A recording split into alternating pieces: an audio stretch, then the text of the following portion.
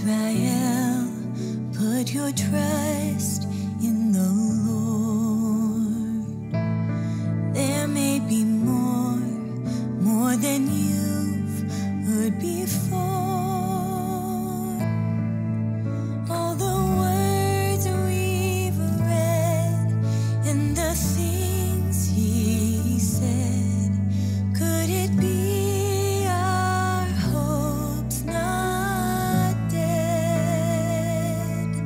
just as he said.